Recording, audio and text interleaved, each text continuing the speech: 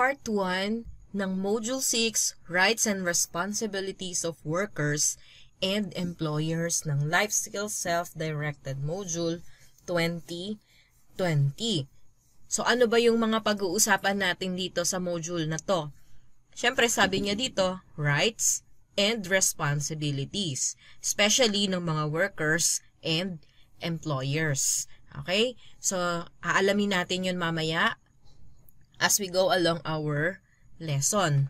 Okay? By the way, it's me, Teacher Mira. Welcome to our uh, another video lesson para sa Life Skills Self-Directed Module 2020.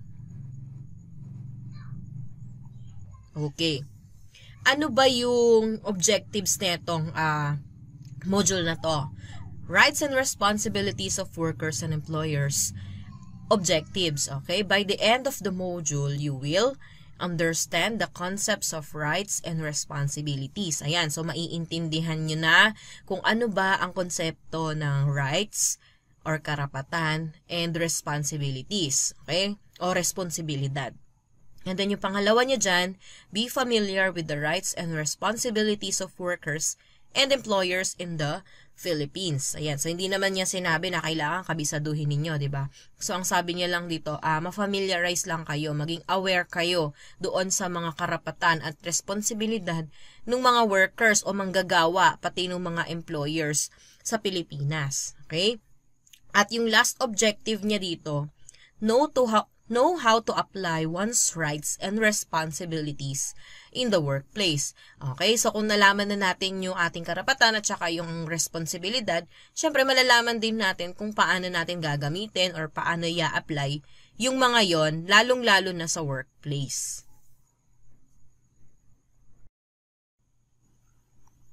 Okay. Now let's have this module overview ano yung mga activities natin dito at ilang sessions tayo at gaano katagal yung mga yon. Sa session 1 natin, ang title nun ay Understanding Rights and Responsibilities. So, meron tayo ditong dalawang uh, activity. Okay? And then, 30 to 45 o 30 to 50 minutes yung time na inalat ni module para sa sa bawat activity na ito. And then yung session 2 rights and responsibilities under the Labor Code of the Philippines. So, meron tayo ditong apat. Ang total time na binigay ni module dito sa module 6 ay 3 hours and 50 minutes hanggang 5 hours to 35 minutes. O, di ba? Ang dali-dali lang pala nito, kayang-kaya ng isang araw na gawain. Okay. Ito naman yung mga written assignments na kailangan ipasa kay teacher para sa presentation portfolio nyo din. Okay? So, marami yan. Ilan ba yan? 2, 3, 4, 5, o siguro 7 yan na written assignments. Kung hindi ako nagkakamali, ito yata yung pinaka-konti o pinaka, pinaka-maliit lang na bilang ng output na dapat ipasa para sa life skills. Now, let's talk about session 1, understanding rights and responsibilities. Ito ay kabilang sa learning strand 4 ng life and career skills. Okay? Ano yung mga learning competencies na kailangan nating isulat sa ating individual learning agreement at saka sa ating review of learning goals. Ito yon learning competency number 22 ng learning strand 4 discuss the rights and responsibilities of employees and employers. This includes the following: workers' rights and responsibilities, employers' rights and responsibilities. So pag-uusapan din pala natin dito yung yung mga karapatan at obligasyon ng at, ng mga employers, okay? And then the terms and condition of employment and employee benefits. Wow, maganda itong pag-usapan. Lalo na in the future, mag kayo ay magtatrabaho, at least, pag natapos nyo itong, itong Module 6, magkakaroon na kayo ng ideas tungkol sa benefits. Okay? Health and safety in the workplace. O, oh, parang bumalik na naman dito yung last module natin. And then, harmonious and productive work relationships, colleagues, superior, and subordinates. So, yun yung mga pag-uusapan natin dito sa session 1. Okay? So, ulitin ko ha, itong session 1 na learning competency, Number 22 lang yung ano ha, yung nakalagay dito. Sa session 2, meron pa siyang another competency. So yung competencies ng session 1 at session 2, yun ang ilalagay ninyo sa individual learning agreement. The key topics and learning points in this module are the following. Number 1, universal human rights. So meron pala tayong universal human rights. Okay? Number 2, personal rights and responsibilities. Number 3, rights and responsibilities of workers. And number 4, rights and responsibilities of employers. Kung mapapansin ninyo, magmula module 1 to 6, nakafocus ito sa workers and employers, pati sa workplace, 'di ba? Kasi ang Life Skills Self-Directed Module 2020 ay pine-prepare kayo sa workplace. Okay? Yung kayo yung mga uh, kayo yung mga magtatrabaho in the future, di ba? Kaya, pag natapos nyo itong module na ito, ay kayo ay ina-assume na kayo ay ready na na mag, magtrabaho. Kasi alam nyo na yung mga, ano eh, yung mga basic concepts, di ba? Bago magtrabaho. And then the number four, rights and responsibilities of employers. Okay, ano yung learning points natin dito? all people have basic universal human rights. Okay, right to a home, food, education, protection, healthcare, religion, to vote, to work. Okay, so lahat yan ay rights natin. Okay, syempre baka may nagtatanong na dyan, ano ba yung rights? Ano ba yung tinutukoy ni ma'am na rights? So, mamaya pag-uusapan natin kung ano yung ibig sabihin ng mga yan. Okay? At work employees have rights and responsibilities just as employers do. Do. At work daw, dala siyang kama dito, kaya tuloy-tuloy. Sa work daw, ang employees meron din daw na karapatan at saka obligasyon, katulad din ng mga employers. Okay? Now, let's talk about the activity 1, yung introductory activity. Ang objectives niya dito ay identify workers' rights and responsibilities, be familiar with universal human rights, and then take the learner's reflection. O nandito na yung, yung una nating reflection na kailangan maisama sa presentation portfolio. Ang recommended time dito ni module ay 30 to 50 minutes lamang. Okay? So, ibig sabihin, medyo madali lang ito. Okay. Welcome to Module 6, Rights and Responsibilities of Workers and Employers. In the previous module on safety and health at work, we learned about hygiene and sanitation, as well as about hazards and emergencies. Okay, now it's your turn. What did you learn from the module on safety and health at work? Ano yung mga natutunan mo doon sa ating last module? Yung safety and health at work. You may write it on the uh, space provided. Okay? Uh, nagbigay na ako sa inyo last time ng tip kung saan nyo yun makukuha. Pwede doon sa key points and learning learning points doon sa sa previous module. Pwede rin naman kung ayaw mong kumuha doon, yung talagang natutunan mo, yun ang ilagay mo dyan. Okay? Remember to write your answer in sentence. Ayan. So, pwedeng uh, ilagay mo dyan, I learned that. O, dugtungan mo na lang. Natutunan ko. Ayun. Okay. And then, read the proverb at the beginning of the module. Yung kasabihan daw sa unang bahagi ng ating module. What does it mean? How is it related to work? Ayan. Ano ba yung ating proverb? Ang bawat karapatan ay may kaakibat na responsibilidad. Okay? Every right implies a responsibility. So, yan yung kanyang English translation. So, ano yung pwede nating sabihin dito? Ano ang ibig sabihin nitong kasabihan na to? Sabi dito, ang bawat karapatan ay mayroong obligasyon o responsibilidad na dapat gawin. Ayun, totoo naman yon. Ikaw, kung halimbawa ikaw ay tao, mula pagkapanganak mo, meron ka na talagang karapatan hanggang sa mamatay ka. Okay? Pero yung karapatan na yon, meron kang ang ganun, pero dapat meron din yung kaakibat na obligasyon o responsibilidad. Okay? Ibig sabihin, meron kang dapat gawin. Okay? Para doon sa karapatan na yon. Okay? Hindi pwedeng ikaw lang yung ano nun. May karapatan ka nga, pero wala ka namang ginagawa. Eh, hindi ka sumusunod. Okay? So, ibig sabihin, meron tayong, uh, uh, merong obligasyon doon sa bawat karapatan na yon. Okay? Now, i-relate natin siya sa workplace. Okay? Sa workplace, ang bawat uh, empleyado may karapatan yon, 'di ba? At ang bawat uh, boss o supervisor, may karapatan din sila. Okay, let's say, may karapatan silang magkaroon ng benepisyo, yung mga, yung mga employees, di ba? Okay, karapatan nilang magkaroon ng benepisyo sa kanilang pinagtatrabahuan. Hindi pwedeng tanggalin yun ni employer. Ngayon, anong dapat gawin o ano yung obligasyon ni employee doon sa karapatan niya na yon na magkaroon ng benepisyo? Kailangan niyang pagbutihin, ano pa, kailangan niyang magtrabaho ng maayos doon sa kanyang pinagtatrabaho, ano, sa kanilang workplace.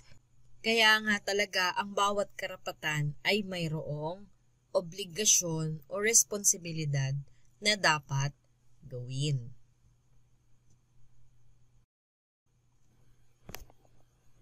Okay.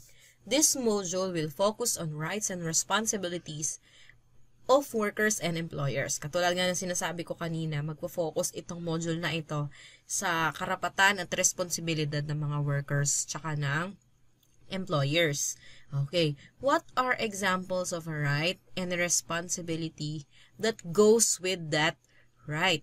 Ayan, tinatanong niya ano daw yung example ng karapatan at saka responsibilidad na umaayon doon sa karapatan na yon. Oh. Ano yung example niya dito? Una, the right to education with the responsibility to study well. Ano yung karapatan dito? Magkaroon ng edukasyon. Okay. Ngayon, ano yung responsibilidad o ano yung obligasyon niya na kailangan niyang gawin? Ano yon? Study well. Ayan, so dalawa yan. Education, pero anong gagawin mo? Study well. Ayusin ng pag-aaral. Okay? O, isa pa. The right to clean water comes with the responsibility to take care of the environment. Ayan, karapatan daw na magkaroon ng malinis na tubig. Pero paano 'yun? Anong dapat mong gagaw? Anong dapat mong gawin? Kailangan alagaan yung environment. Ayan. So, hindi pwedeng, hindi pwedeng meron ka lang karapatan sa edukasyon. May karapatan ka magkaroon ng, ng, o makainom ng malinis na tubig. And then, ano, and then what? Anong gagawin mo? Okay? So, kaya kailangan ang right o karapatan at saka ang responsibility o obligasyon o responsibilidad ay dapat na laging magkasama. 'Di ba? Parang sa relationship 'yan, 'di ba? Kung gusto mong mahalin ka, ah, karapatan mong magmahal at mahalin, 'di ba? Pero anong obligasyon mo? Kailangan ipakita mo yung pagmamahal mo. Hindi yung ah, hindi yung ano lang. Oo, karapatan mo nga na mahal na magmahal ka at mahalin ka. Anong wala ka namang ginagawa? Okay? So hindi hindi tama yung ganung bagay. Okay? Hugot na naman si ma'am. Ano? Lagi na lang may hugot si ma'am bawat module. Ayun. Ayan. Okay. Kilala nyo ba yan, yung hero na yan? Oo, syempre kilalang kilala nyo yan. Kahit ako kinahumalingan ko yan, inabangan ko lahat ng palabas niyan. Siya si Spider-Man. Anong sabi ni Spider-Man?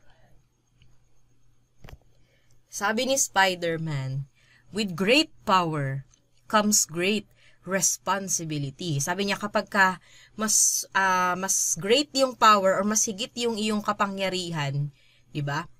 Meron kang higit na responsibilidad. O kung tatanggalin natin yung great, okay, yung salitang great.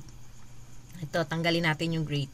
With power comes responsibility. Kapag may kapangyarihan, merong responsibilidad. So parang ganun din sa karapatan. Nilagyan niya ng great dito ni ni Spider-Man. Big sabihin mas kapag mas marami pas, o mas higit ang iyong kapangyarihan o karapatan, dapat higit din doon o mas marami kang responsibilidad o obligasyon na dapat gawin. Okay? So, hindi pwedeng may power ka lang, tapos wala ka namang gagawin. Okay? Dapat meron yung obligasyon. Ano ba yung ginagawa ni Spider-Man? Di ba magligtas ng tao? Okay? Iligtas ang lahat ng kanyang uh, dapat tulungan. Di ba? So, parang ganun din sa atin. Kapag ka ikaw ay may karapatan, pag mas maraming karapatan, dapat alam mo rin na mas marami kang responsibilidad. Okay? Okay, ito na yung karugtong. Name two or three. So, maglalagay daw kayo dyan ng dalawa or tatlong karapatan na may kaakibat na responsibilidad. Okay? Katulad nung binigay niyang example kanina. So, pwede ditong ilagay yung right to vote, right to food. Ayan. Ano yung, ano yung responsibilidad na yan? Na dapat gawin. Meron kang karapatang bumoto, meron kang karapatan sa pagkain. And then, ano yung, ano yung obligasyon o responsibilidad mo sa mga karapatan na yan. Okay? Kung may naiisip ka pa na ibang karapatan, pwede mong ilagay yan dyan. Okay? Binigyan ko lang kayo ng sample ng karapatan. Okay? This module will talk about some universal rights, one's personal rights, as well as the rights and responsibilities of employees and employers. The Labor Code of the Philippines is the law that governs employment practices and labor relations in the Philippines. So yung palang uh, Labor Code of the Philippines ay nag uh, naglalaman ng mga karapatan. Ito yung batas na naglalaman ng ating mga karapatan when it comes to employment and labor sa trabaho. Okay? Okay. Now let's talk about the learner's reflection, module 6, rights and responsibilities of workers and employers. So, sasagutin mo lang naman yan kung meron kang experience dyan sa mga binigay niyang uh, experiences. ba diba? So, 1, 2, 3, 4 lang yan. Hindi ko na yan iisa-isahin kasi alam ko kayang-kaya niyong sagutin yan. Okay. 6.1, Human Rights. Ayan, meron tayong iba't ibang mga larawan na nandito. So, basahin natin. Right to food, Ayan, right to education, right to protection, right to health care, right to religion, right to vote, right to work, and right to own a house. So, iilan lamang ito sa universal human rights. Okay, ito yung mga basic eh. 'Di ba?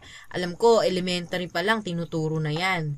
'Di ba? Karapatang magkaroon ng pangalan, 'di ba? Ganun yung mga mga tinuturo sa elementary.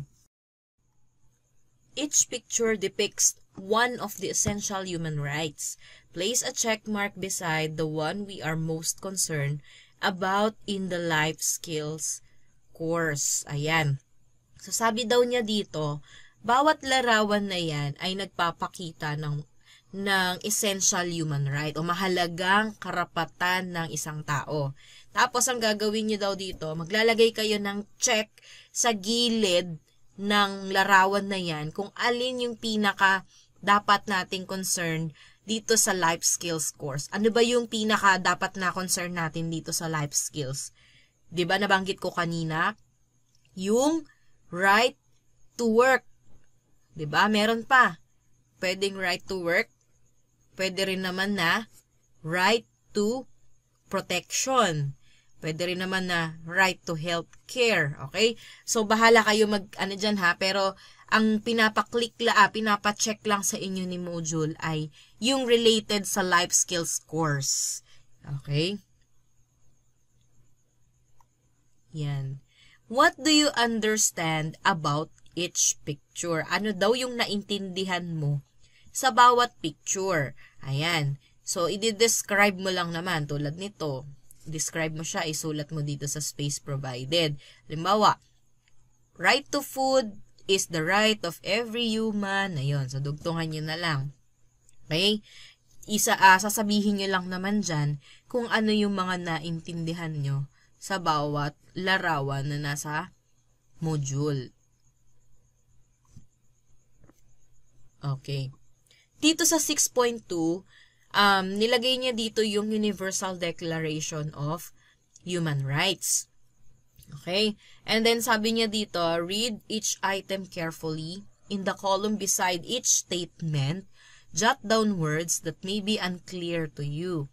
Look these words up in the dictionary or discuss them with your mobile teacher. So, basahin nyo daw isa-isa yung mga rights na nandito sa left side. Okay? Tapos, kung meron kayo dito na hindi naintindihan o gustong malaman o hindi malinaw, pwede nyong isulat dito sa right side yung word na yon. Okay?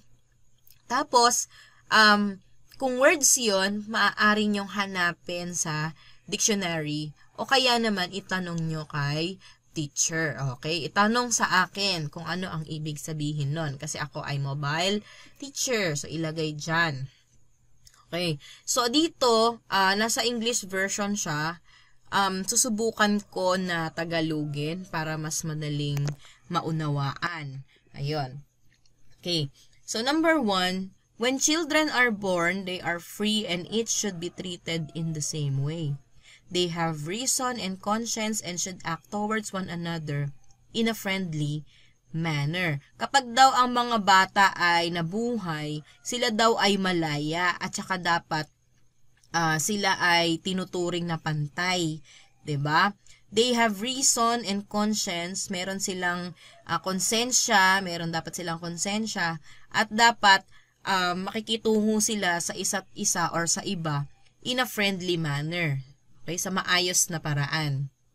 Okay, so yun yung yung version nito nung nung number 1. Okay? Pero kung meron naman kayong other versions, okay lang din naman sa akin 'yun. Okay, so ine-explain ko lang sa inyo kung ano yung yung Tagalog nito. Number 2, everyone can claim the following rights despite lahat daw ay maaaring mag-claim o magkaroon nung rights. Okay, ng mga rights na ito, yung mga karapatan na ito, kahit na, una, different sex, ayan, lalaki, babae, or LGBT, okay lang yon Okay, may karapatan pa rin sila. Different color, maputi, kayumanggi, or maitim, ayon. So, meron silang rights. Speaking a different language, kahit na nagsasalita sila ng iba't ibang lengguwahe, meron pa rin silang karapatan. Okay? Thinking different things. Ayan, nag-iisip ng iba. O magka, magkakaiba kayo na iniisip, lahat pa rin yon ay may karapatan. Okay? Believing in another religion. O yan, kahit ano pang religion ng kinabibilangan mo, meron ka talagang universal right. Okay? Owning more or less. O mahirap ka or mayaman ka, may karapatan ka. Okay?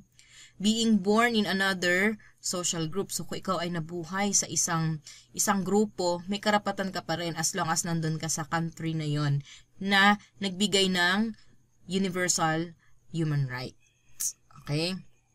Next, coming from another country. Ayan. So, yung mga, yung palang mga taga-ibang bansa rin, meron din pala silang rights na ma-enjoy dito.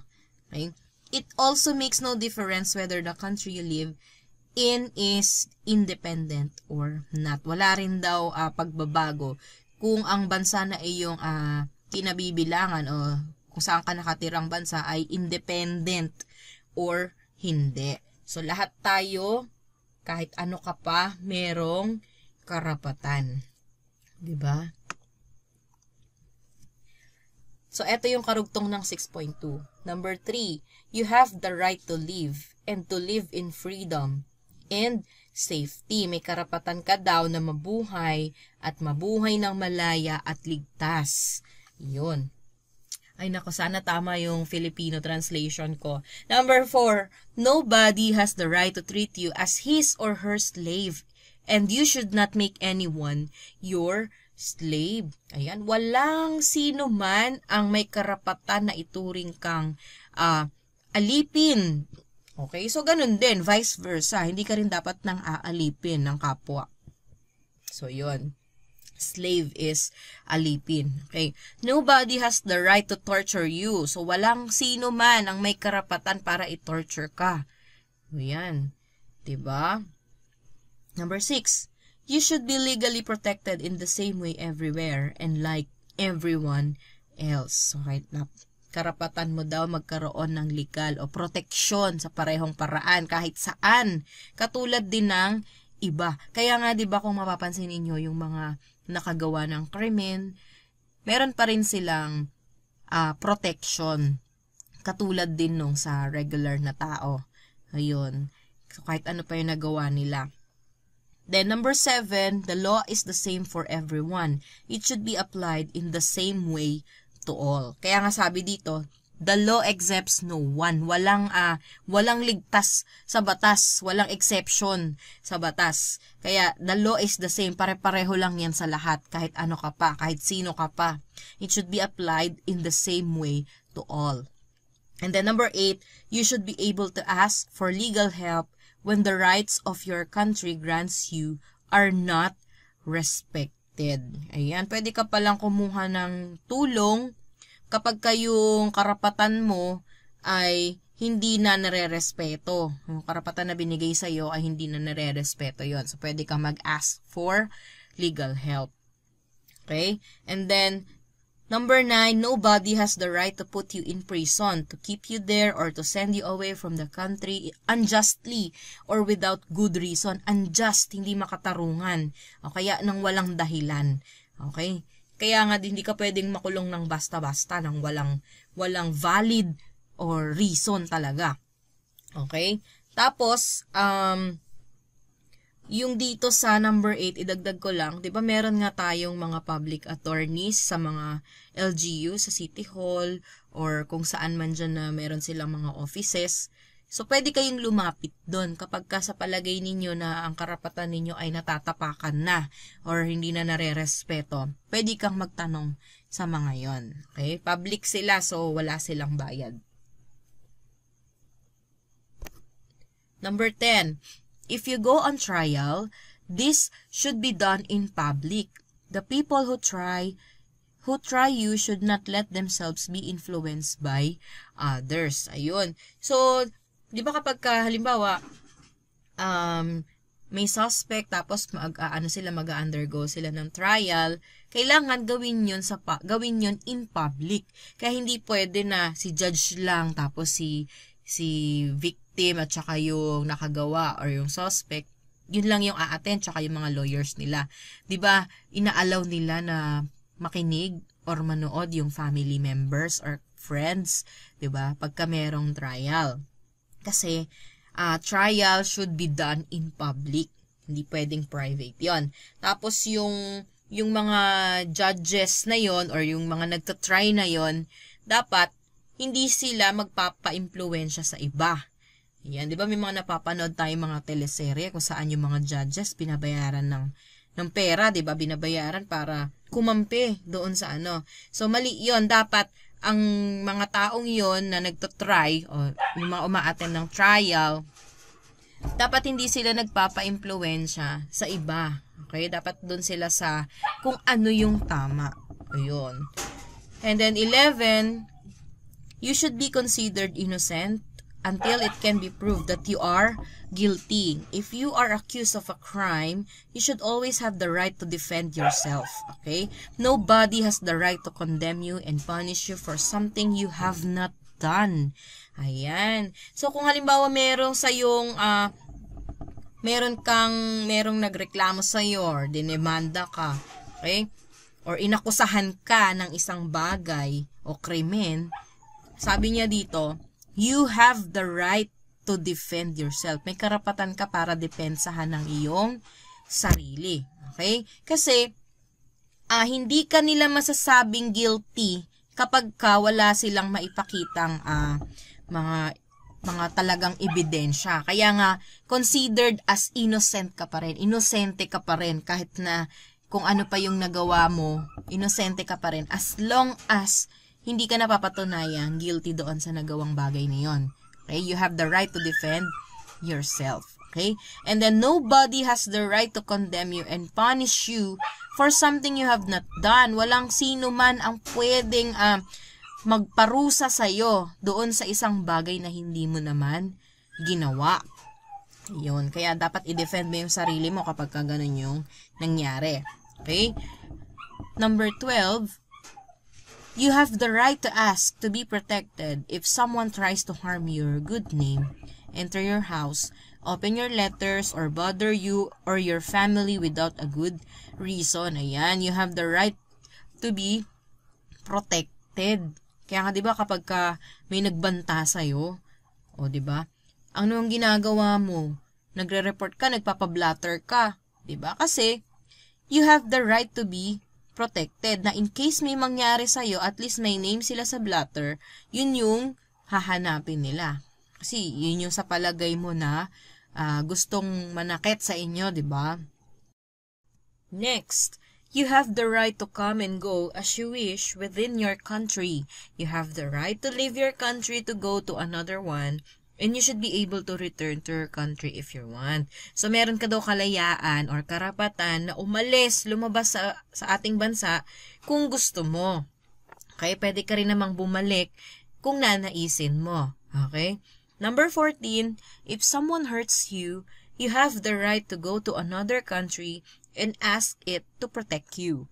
You lose this right if you have killed someone and if you, you are yourself, do not respect what is written here. So, kung may nanakit sa'yo, meron kang karapatan na humingi ng tulong sa ibang bansa para sa iyong proteksyon. Okay? Pero, mawawala lang itong karapatan mo na yan kapag ka ikaw ay pumatay ng ta- pag ikaw ay pumatay, okay? O kaya hindi ka uh, rumerespeto ng mga nakasulat sa bansa mo, okay? Or nananapak ka ng tao sa bansa mo mismo. Yun. Okay? Pero meron kang karapatan ha, humingi ng tulong sa ibang bansa. 15. You have the right to belong to a country and nobody can prevent you without a good reason from belonging to a country if you wish. Eh, may karapatan ka daw na, na mamili or uh, makasali doon sa isang bansa na gusto mo. As soon as a person is legally entitled, he or she has the right to marry and have a family. In doing this, neither the color of your skin, the country you come from, nor your religion should be impediments. Men and women have the same rights when they are married and also they are separated. Nobody should force a person to marry. Ayan, kapag ka legally entitled na yung, yung tao, mayroon siyang karapatan na magpakasal at magkaroon ng sarili niyang pamilya. So, kahit ano pa yung kulay ng kanyang balat, kung saan siya nang galing, 'di ba? Anong bansa, anong relihiyon yung kanyang pinanggalingan, hindi 'yon ang magiging uh, hadlang para makabuo siya or makapagpakasal siya or makagawa siya ng sarili niyang pamilya. Kasi men and women have the same same rights kapag sila ay magpapakasal. Ganun din kapag ka maghihiwalay. Okay? Meron lang siya ditong nakalagay, nobody should force a person to marry. Wala daw dapat na pumilit sa isang tao na, na magpakasal.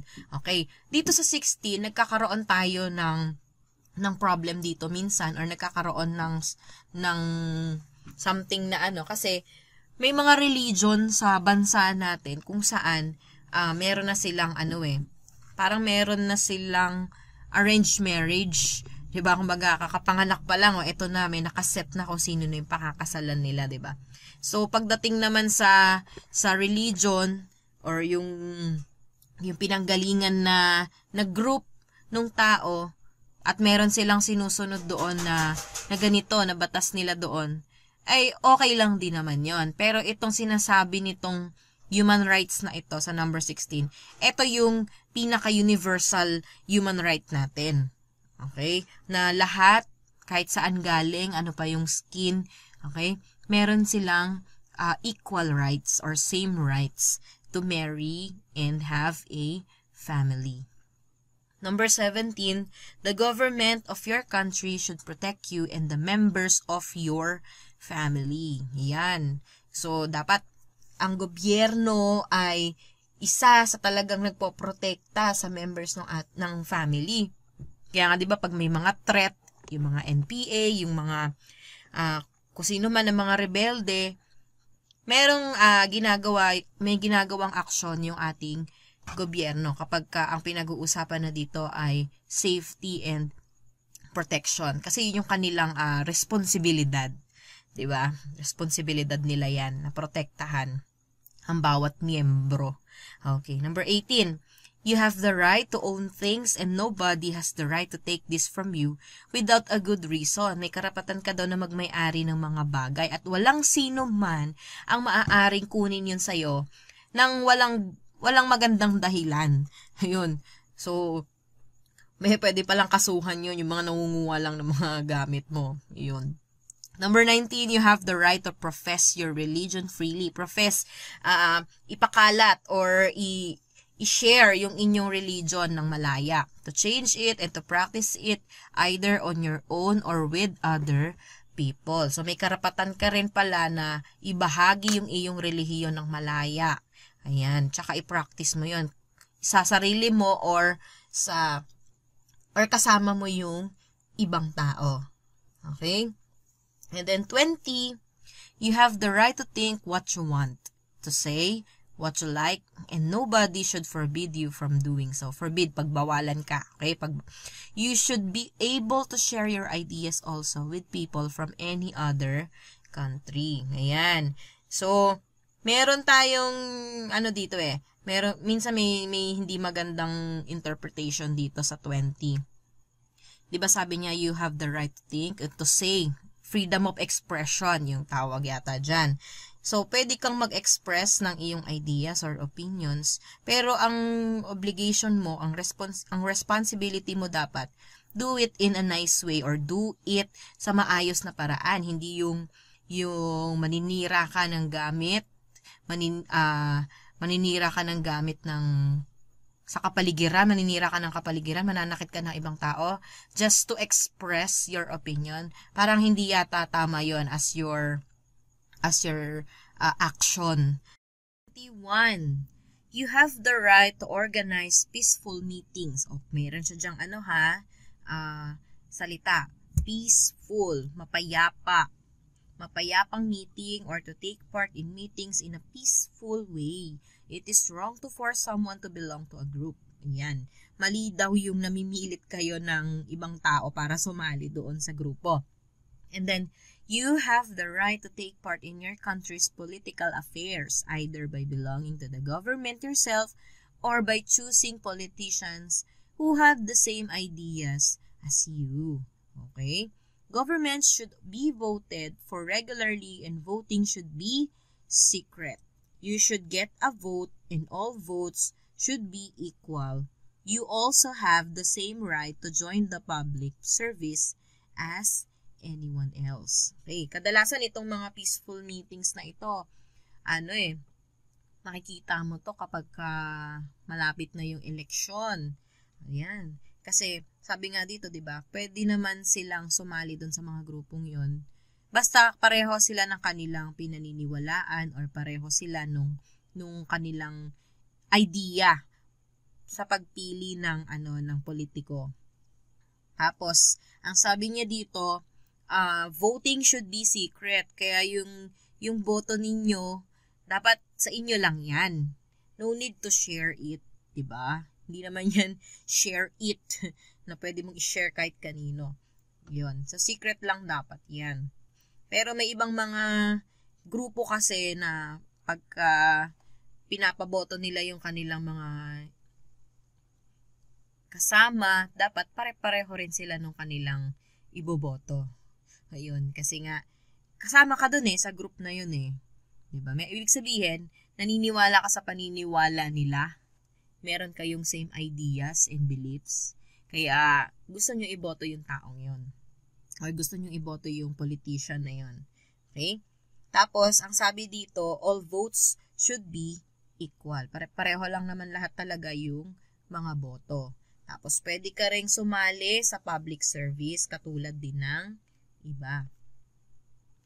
The society in which you live should help you to develop and to make the most of all the advantages sa culture, sa work, social welfare, which are offered to you and to all the men and women in your country. Kaya nga kung mapapansin ninyo, yung ating uh, down to barangay, cities, pati sa government, ay nagbibigay sila ng iba't ibang opportunities, mga trabaho na or employment sa mga tao na makakapag-develop at saka makakapag ano sa mga nasasakupan nila. 'Di ba? Makakatulong 'yon. Okay? And then 23, you have the right to work, to be free to choose your work, to get a salary which allows you to support your family. Yan, may, kara- may karapatan kang magtrabaho. Ganun din na mamili ng trabaho na gusto mo at makakuha ng, ng sahod na makakasuporta sa iyong family. If a man and a woman do the same work, they should get the same pay. Ayan, walang, walang gender discrimination dapat sa trabaho. So, kung magkano ang sahod ni lalaki, dapat ganun din yung sahod ni babae kung pareho ng posisyon. Okay? All people who work have the right to join together to defend their interests. Ayan, pwede silang uh, mag ano, may karapatan sila na depensahan yung kanilang sarili kapag ka, or mag-join sila sa sa isang grupo nila sa ano nila sa workplace nila para idep- para depensahan yung kanilang mga sarili kung sa palagay nila ay meron ng natatapakan na ano na right. Okay, 24 each work day should not be too long since everyone has the right to rest and should be able to take regular paid holidays. So, mag ilang hours ba ang ano, ang, ang, ang ano sa isang regular employee ang required? Parang 8 to 12 hours, di ba? Sa teachers, 6 to 8 hours. Okay? And, dapat daw meron ding uh, rest. Kaya nga may rest day. Ibig sabihin, mandatory ang rest day. Hindi pwedeng 7 days, 24 hours ka magtatrabaho. Hindi pwede. Kasi, kailangan mo magpahinga. Health is wealth, 'di ba? Pag-aralan na natin 'yan. So, kailangan din daw natin na makapag-take ng regular paid holidays. 'Di ba kapag ka pumapasok ng ng holiday, double pay 'yan usually, 'di ba? Oh. Kaya yung iba pumapasok ng holiday. So, karapatan din nila 'yon kung gusto nila. Then 25 You have the right to have whatever you need so that you and your family do not fall ill or go hungry, have clothes and a house, and are helped if you are out of work, if you are ill, if you are old, if your wife or husband is dead, ang haba, or if you do not earn a living for many other reason you cannot help. Mothers and their children are entitled to special care. All children have the same rights to be protected whether or not their mother was married when they were born. So, dito napapasok yung karapatan ng isang solo parent o yung single moms. ba diba? And may karapatan ka rin gawin or mag, uh, kung ano yung talagang kailangan ng iyong family. Ano yun yung mga sinabi niya dito? Ayun, mag, mag, wag magkasakit, wag magutom, magkaroon ng bahay at uh, damit. Okay? Kung ikaw ay matanda na, kung ikaw ay yung asawa mo ay yung partner mo ay namatay, meron kang mga may mga karapatan ka doon or may mga benefits ka na makukuha doon. Okay? You have the right to go to school and everyone should go to school. Primary schooling should be free. Yan. Primary, ano ba yung primary? Yun yung elementary. Okay? Ganun nga rin yung secondary, libre lang. Pag sa public kayo papasok, libre. Walang walang sisingilin sa inyo na tuition fee. Kasi uh, obligasyon ng pamahalaan ng gobyerno na bigyan kayo ng uh, primary schooling o ng edukasyon. O yun. Pero may karapatan kayo, di ba, na mag-aral. May karapatan kayo na magkaroon ng edukasyon. Responsibilidad yun ngayon ng pamahalaan. At responsibilidad yon na ibigay ng libre kaya libre ang pag-aaral sa public school. Libre din ang pag-aaral sa ALS. Kasi kami ay nag-offer din ng primary schooling. Okay? At school, you should be able to develop all your talents, and you should be taught to get on with others, whatever their race, religion, or the country they come from. Your parents have the right to choose how and what you will be taught at school. Ayan, may karapatan ang mga magulang na pumili kung saan at kung paano kayo dapat na turuan sa isang school. Kaya kapag ka, limbawa, si mommy at daddy hindi hindi niya type yung school na yon, pwede niya kayong ilipat kung saan niya kayo gustong ilagay. Okay?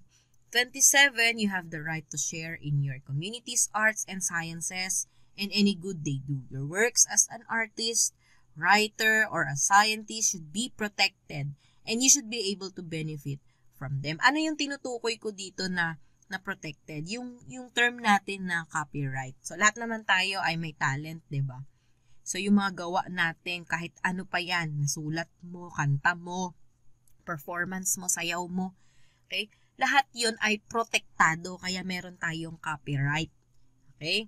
Tapos, syempre kung halimbawa 'yun ay nag-click sa tao, kumita ka doon, deserve mo yon kasi pinaghirapan mo yon at galing sa'yo yon. Pero kung galing yun sa iba at, kin at kinopya mo, that's the time na papasok na yung term na copyright.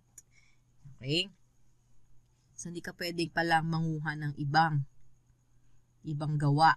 So, ganun din sa assignment, kailangan sarili mong sagot, hindi ka pwedeng kumuha ng ibang sagot ng kaklase or sagot ng kung saan man na sinerch sa Brainly, sinerch sa Facebook. O yan. So, iwasan yung ganun. Dapat sarili mo lang yung mga sagot. Kasi may copyright doon. Okay, 28. So that your rights will be respected, there must be an order o kaayusan which can protect them. This order should be local and worldwide. Mayroong order. Makikita niyo naman yan sa inyong community eh, pati sa government, 'di ba? Meron silang binibigay ng mga rules and regulations para mabigyan ng kaayusan yung lahat. 29. You have duties towards the community within which your personality can only fully develop. The law should guarantee human rights. It should allow everyone to respect others and to be respected. So, meron kayong uh, duties or responsibilities or responsibilidad, obligasyon sa sa inyong community. Okay? At yung yung law o yung batas na yon ay kailangan may uh, mag-guarantee niya, masiguro niya yung inyong karapatan. Tapos ang lahat dapat ay ay mat, mayroong respeto at uh, marespeto, may karapatan na na marespe, marumespeto at marespeto. Yun, nabubulol na si ma'am. Ayan. 30. In all parts of the world, no society, no human being should take it upon or her or himself to act in such a way as to destroy the rights which you have just been reading about. So, yung mga nabasa nyo na yan, wala sa ibang bansa or kahit sino man, okay? O kahit saang parte ng mundo pa yan, na sisirain niya yung mga rights mo na yan. Okay? Yung mga nabasa mo yan kanina. Kasi nga po, ang karapatan ay meron ka na niyan pagkapanganak mo pa lang. Hanggang sa mamatay ka, may karapatan ka pa rin dyan. Okay? So, yun yung sinasabi niya. Walang iba na pwedeng uh, sumira or magtanggal ng karapatan mo na yan. Next, yung activity 2. Yan, ito na. Aaralin na natin what's a right and what's a responsibility. Ayan. Ano yung objectives natin dito? Be familiar with their own personal rights and responsibilities. Discuss the relationship between rights and responsibilities. So, ang recommended time natin dito ay 30 to 45 minutes. Okay. A general definition for a right, right, karapatan, is anything that is due to a person by law or tradition. Due, sa'yo yon Okay? Na binigay ng ng bansa mo or sa tradisyon ninyo. Basta pag pagka right, sa'yo talaga yon.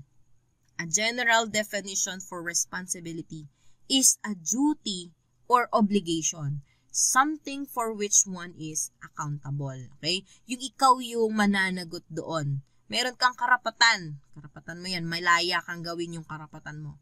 Pero, dapat meron kang duty or obligation na ikaw yung mananagot in case na ma-violate mo yung yung iba, ibang karapatan din.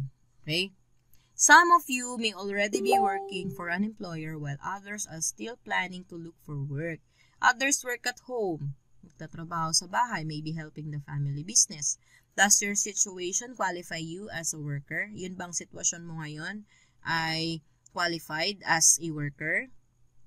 Workers include teachers, farmers, fishermen, carpenters, bakers, electricians, drivers, security guards, dressmakers, and etc. Yun yung mga workers. Under the labor law, a worker is any member of the labor force, whether employed or unemployed. Pag sinabi nating labor force, ito yung lakas paggawa. So kahit pa na may trabaho siya ngayon or unemployed or walang trabaho, as long as siya ay worker, may experience, nagtatrabaho siya before or now, um, kasali siya sa lakas paggawa or labor force. Okay? Hindi mabubuhay yung bansa natin kapag wala yung labor force. Kaya importante binibigyan uh, binibigyan din ng ng halaga itong mga manggagawa natin. Okay. Now let's move on to this activity, yung let's apply. For every given right, there's a corresponding responsibility. Pick five rights from the Universal Declaration of Human Rights and write two corresponding responsibilities for each. The first row is an example. So, ang pinagagawa ni Mojul dito, pipili kayo ng limang karapatan doon sa sa nabanggit na 30. 30 yun, di ba?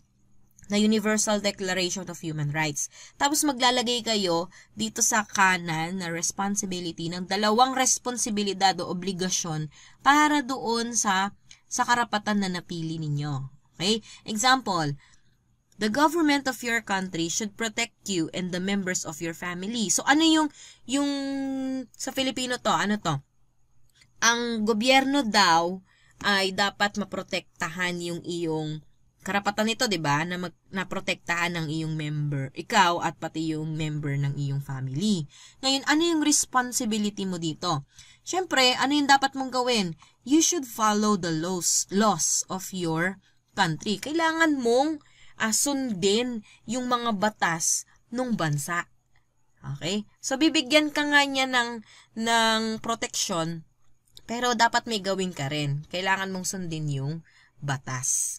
Okay, so ganun din yung gagawin ninyo ha. Isa lang yung binigay ni module dito. Pero kayo kailangan dalawang responsibilities ang ilalagay nyo for each uh, universal right.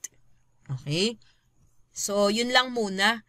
Kasi masyado nang mahaba yung part 1. Abangan yung part 2. Yan. So, thank you for listening. Abangan nyo ulit. And then, subscribe. Tapos, hit nyo yung yung notification bell para kapag ka mag-upload na ako ng next part, ay ma-inform kayo kaagad. Okay, bye-bye! Thank you!